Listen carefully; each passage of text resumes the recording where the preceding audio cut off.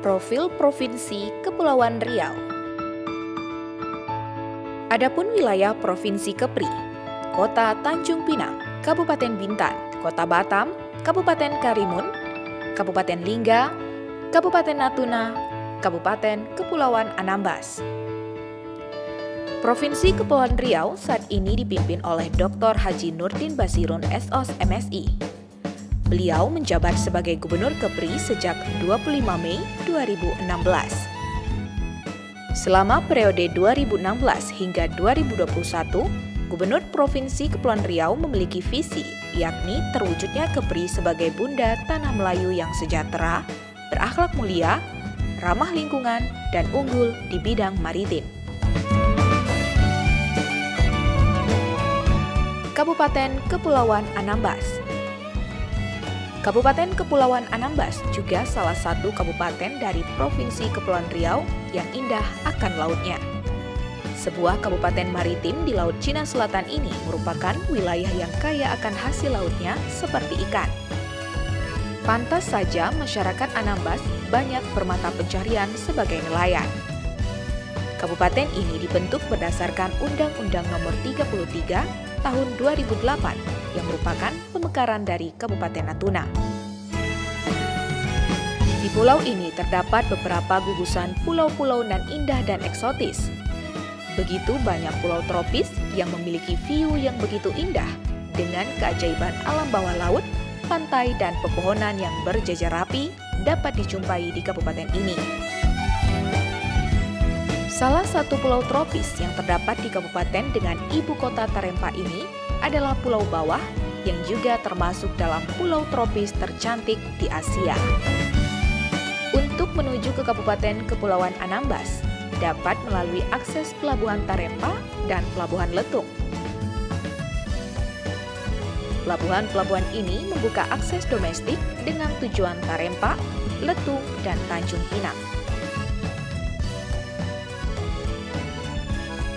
Kemudian Kabupaten Kepulauan Anambas ini juga menyediakan akses udara melalui Bandar Udara Matak. Bandar Udara Matak ini membuka akses domestik dengan tujuan Tanjung Pinang dan Ranai.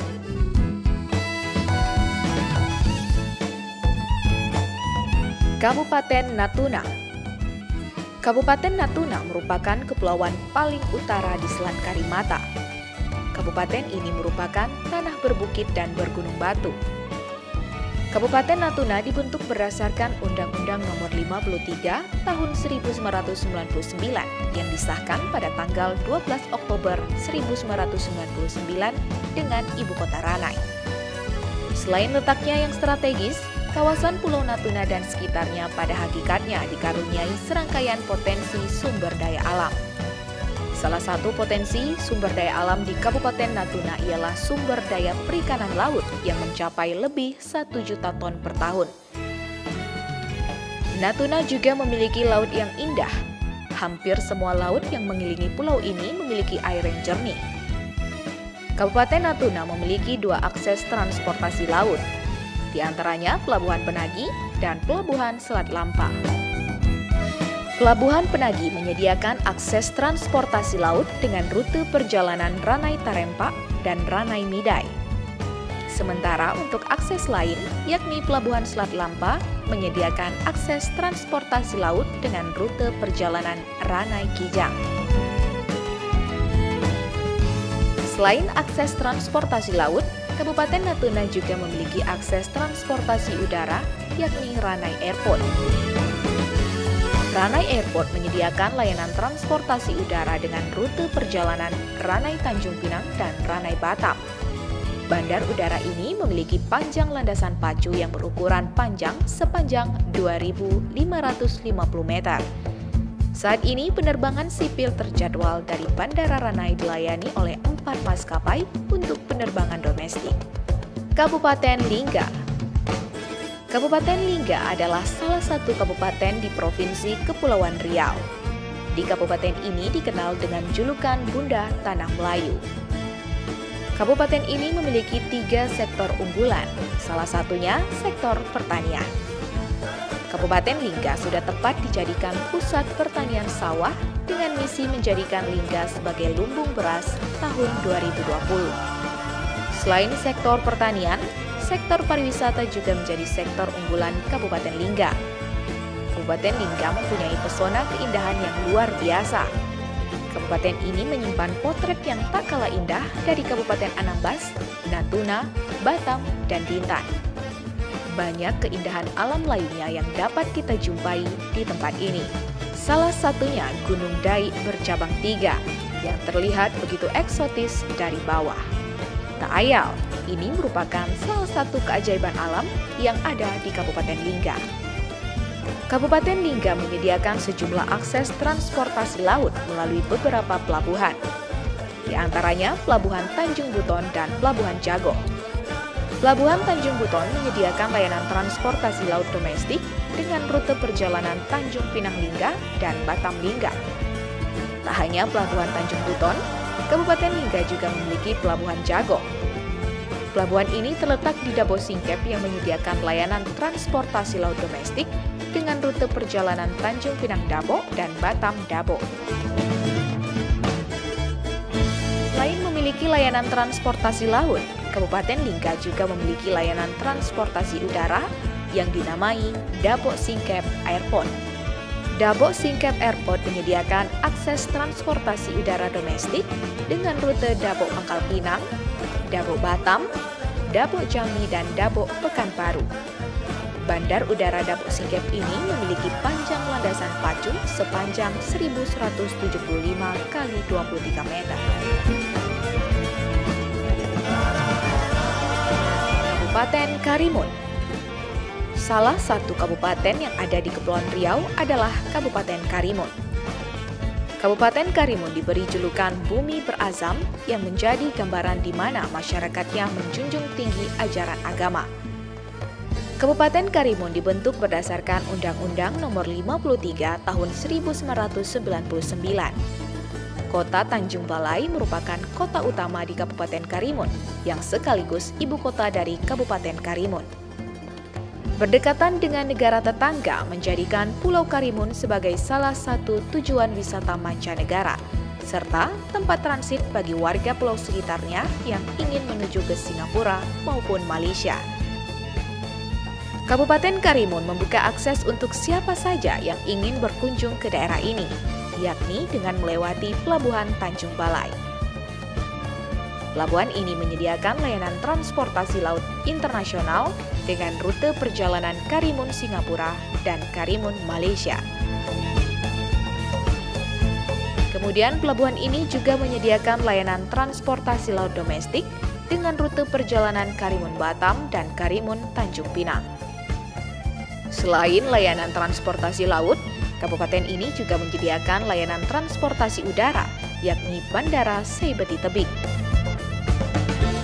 Bandara Seibeti Tebing menyediakan layanan transportasi udara domestik dengan rute perjalanan Karimun Pekanbaru.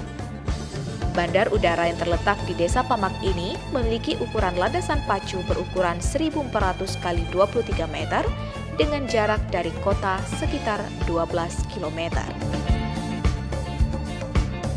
Kota Batam Kota Batam adalah sebuah kota terbesar di Provinsi Kepulauan Riau. Kota dengan julukan kota industri ini merupakan salah satu kota dengan letak yang sangat strategis. Selain berada di jalur pelayaran internasional, kota ini memiliki jarak yang sangat dekat dan berbatasan langsung dengan Singapura dan Malaysia.